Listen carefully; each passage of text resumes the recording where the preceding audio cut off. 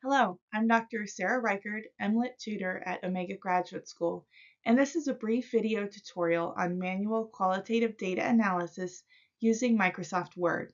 In this tutorial, we will explore a very easy manual approach to analyzing qualitative data, specifically focusing on using text color highlighting in Microsoft Word to identify codes and organizing them under themes. We will also follow Creswell and Poth's Data Analysis Spiral, a comprehensive framework for qualitative data analysis. Let's get started. Qualitative data analysis is crucial in extracting meaning and insights from qualitative research.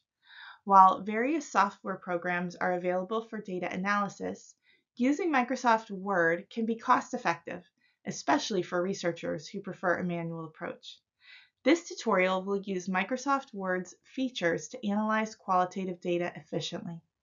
Creswell and Poth's Data Analysis Spiral is a simple five-step process for qualitative data analysis. In step one, manage and organize the data. Step two, reading and memoing emergent ideas. Step three, describe and classify codes into themes. Step four, develop and assess interpretations. And lastly, step five, represent and visualize the data. The first step in the data analysis is managing and organizing the data. Create a new document in Microsoft Word and copy and paste your qualitative data, such as an interview transcripts or field notes, into the document. It's important to ensure that each participant's data is clearly labeled and organized to facilitate analysis. You can create headings or subheadings for each participant or group of participants, making navigating the document easier. Once the data is organized, proceed to read through the data carefully. As you read, make notes or memos about emergent ideas, patterns, or insights that you observe. This process helps you capture initial impressions and thoughts that may guide for further analysis.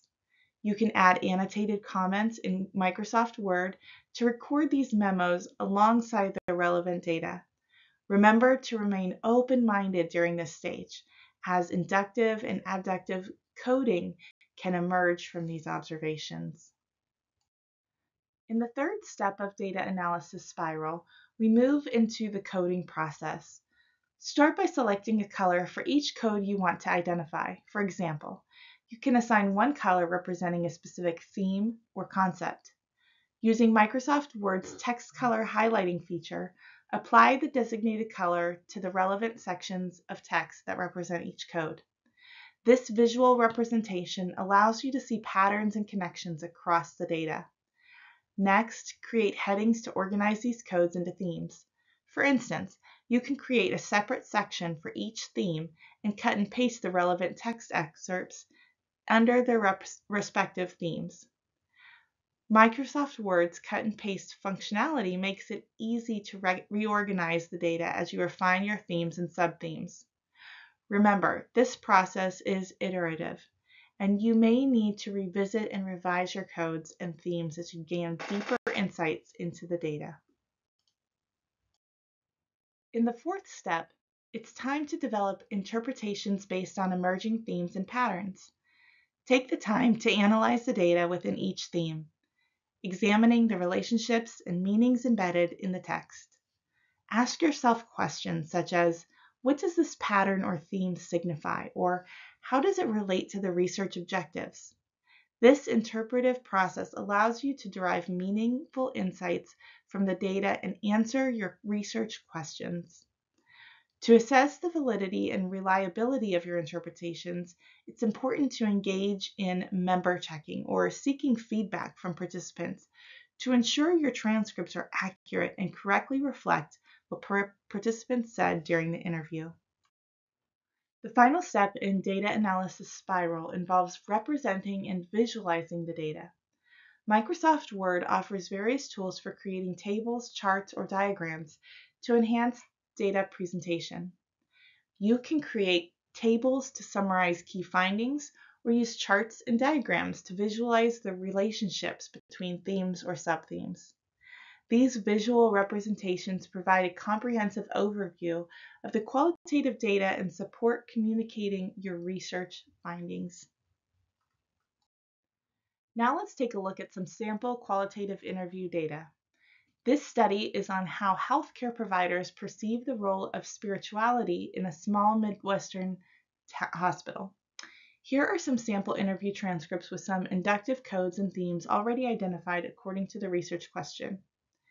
In analyzing the interview transcripts, several key codes and themes emerged, providing valuable insights into the healthcare professional's perceptions regarding spirituality's role in patient care. Let's explore how these codes and themes were identified.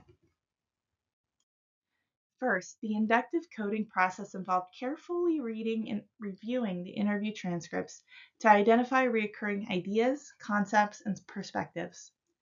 Through this iterative process, the following inductive codes were identified. Number one, patient care. This code represents the overall focus on providing comprehensive care to patients, encompassing not only their physical needs, but also their emotional, psychological, and spiritual well-being. Number two, holistic well-being. This code emphasizes the significance of addressing the patients' holistic well-being recognizing that spiritual care is integral in promoting overall health and healing. Number three, incorporating spirituality in practice. This code reflects the healthcare provider's belief in integrating spirituality into their practice. It encompasses their efforts to acknowledge and address the spiritual needs of patients as an essential component of care. Number four, patient comfort. This code highlights the healthcare provider's commitment to creating a comforting and supportive environment for patients, recognizing that spiritual beliefs and practices can bring solace and peace during challenging times. Number five, respect for diverse beliefs. This code underscores the healthcare provider's understanding of the importance of respecting and honoring patients' diverse religious and spiritual beliefs. It involves fostering an inclusive environment that allows patients to express and practice their faith freely. Once the codes were identified, the next step was to cluster them into meaningful themes. Two overarching themes emerged from the data. Theme 1 Healthcare providers believe they should incorporate spirituality into their practice to address aspects of patient well being holistically. This theme encompasses the codes of holistic well-being and incorporating spirituality in practice. It highlights the recognition that spirituality is essential in patient care, contributing to individuals' overall well-being and healing. Theme 2. Healthcare providers believe respecting diverse beliefs can foster patient comfort and enhance patient care. This theme combines the codes of respect for diverse beliefs, patient care, and patient comfort. It en- emphasizes the importance of creating an inclusive and respectful environment that acknowledges and supports patients' diverse religious and spiritual beliefs, ultimately enhancing their comfort and quality of care that they receive. By identifying these codes and themes, we gain a deeper understanding of the healthcare professional's perspectives regarding the role of spirituality in patient care. These insights can inform the development of strategies and interventions promoting holistic care, respecting diversity, and enhancing the overall patient experience.